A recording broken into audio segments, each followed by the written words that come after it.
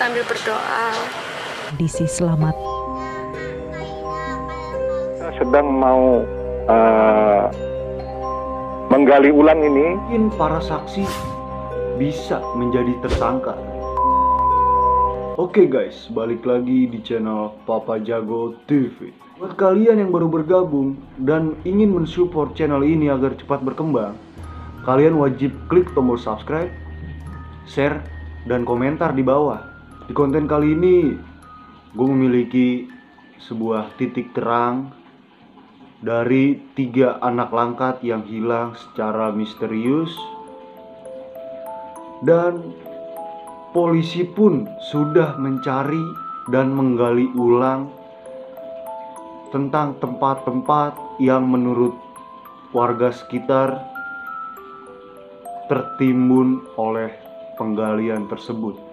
Kabar terbaru yang gue dapet dari salah satu website ataupun channel YouTube bahwa anak tersebut ini sih menurut gua sudah ada titik terang dari video yang sudah gue tonton sebelumnya dan gua lihat. Ini sebuah titik terang untuk kita semua ataupun untuk pihak keluarga karena polisi di sana sudah menggali ulang penggalian yang digali oleh orang-orang di sana ataupun pekerja-pekerja di sana. Ini video gue lansir dari TV One yang menurut gue ini beritanya udah cukup benar-benar nyata, benar-benar real pokoknya. eh, kita sedang mau eh, menggali ulang ini dengan melibatkan alat berat eskavator supaya eh, jelas hasilnya nanti apakah anak itu tertimbun ataupun tidak. Video yang sebelumnya sempat viral dan heboh di sosial media bahwa ada satu anak yang hilang secara misterius. Namun, anak tersebut berhasil ditemukan. Orang tua tersebut juga memberitahu kepada kita-kita semua Mungkin gue juga di sini bakalan memperlihatkan ke kalian semuanya mengenai video bapak-bapak tersebut ataupun warga tersebut tentang bagaimana kronologi anak yang hilang dan berhasil ditemukan.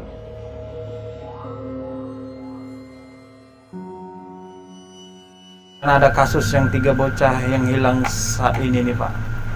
Bisa mungkinkah itu sama kejadian seperti yang Bapak alami ya? Tidak, Kenapa gitu? itu pasti berbeda.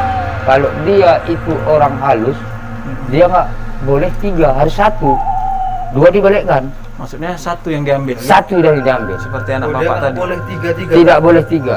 Itu kalau orang halus. Nah, jadi dia apa pun di dalam dirinya ini, kalau orang halus pasti tinggal, Maksudnya Pak? pasti tinggal kalau selop, walaupun dibawanya botol pasti tinggal kalau orang halus. Oh. Cuman kalau perbuatan manusia pasti diambil semua. Yang gue tangkap dari video tersebut, mungkin anak tersebut memang itu penculikan dari makhluk gaib. Tapi dari tiga anak langka tersebut dan yang gue dengar dari cerita bapak-bapak tersebut itu menceritakan jika yang namanya makhluk gaib tuh tidak tiga orang langsung diambil semuanya makhluk gaib hanya mengambil satu anak tersebut saja. Dan kesimpulan dari gua, mungkin ini adalah kasus penculikan. Tapi ini sih dari opini gua aja sendiri ataupun menurut gua sendiri pribadi.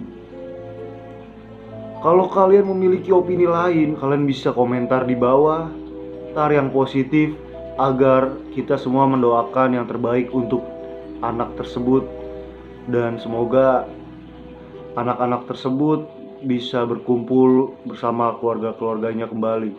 Bagaimana menurut kalian? Apakah ini penculikan atau diambil oleh makhluk gaib? di sini gue hanya mereaksi. Ini sebuah titik terang untuk kita semua ataupun untuk pihak keluarga.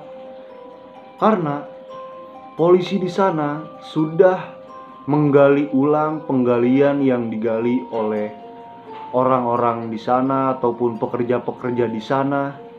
Dan semoga saja anak tersebut bisa ditemukan dan kalaupun tidak kita semua harus saling bersama-sama mendoakan yang terbaik. Dan gue pengen masalah ini cepat selesai.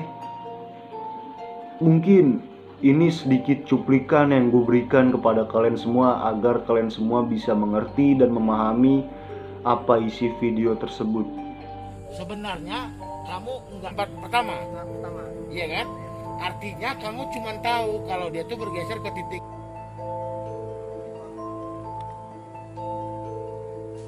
Di sini kita bisa bersama-sama menyaksikan bagaimana kesaksian ataupun pekerja di sana setelah diinterogasi oleh pihak berwajib.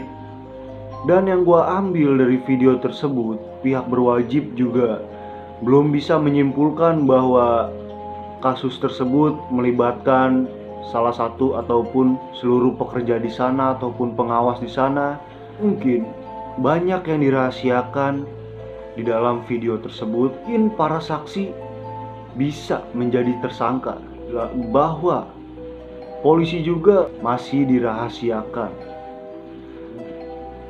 Ya semoga saja yang dirahasiakan tersebut bisa menjadi titik terang agar ke depannya bisa lebih baik dan secepatnya menemukan anak-anak tersebut. Balik lagi di sini gue hanya opini gue pribadi. Ini bukan salah satu tuduhan ataupun apa. Ini hanyalah opini gue pribadi. Sekali lagi gue tekankan, bisa jadi saksi menjadi tersangka karena di sana hanya beberapa orang yang melihat kejadian tersebut dan anak-anak tersebut apakah saksi bisa menjadi tersangka? Ini gue ingin memberitahu ke kalian tentang orang tua korban yang gue ambil juga dari salah satu web ataupun channel YouTube yaitu TV One. Bagaimana orang tua korban di sana dan apa yang dirasakan oleh orang tua korban. Silakan kalian tonton video berikut. Masih ada ya. Mudah-mudahan dia cepat kembali dengan keadaan sehat walafiat tanpa ada satu kekurangan apa pun dalam dirinya. Karena saya sangat berharap sekali kembali hari demi hari. Kami selalu menunggu sambil berdoa. Semoga dia cepat kembali ke rumah. Karena semua sudah mengharapkan dia pulang. Lihat dari orang tua korban, yang namanya orang tua kalau kehilangan anak pasti dina, pasti dia merasakan sedih yang sangat mendalam dan gue juga turut berduka atas kejadian ini di, di Langkat sana semoga doa kita semua bisa terkabul oleh Yang Maha Kuasa dan diberikan titik cerah agar anak-anak tersebut bisa kembali berkumpul bersama keluarga-keluarganya. Mungkin video dari gue cukup segini dulu. Jika ada video yang terbaru tentang Langkat ataupun yang lainnya, gue akan update video. Mungkin cukup sekian video dari gue. Jika ada kesalahan, mohon dimaklumi karena setiap manusia tidak luput dari kesalahan. Gue Papa Jago. Assalamualaikum.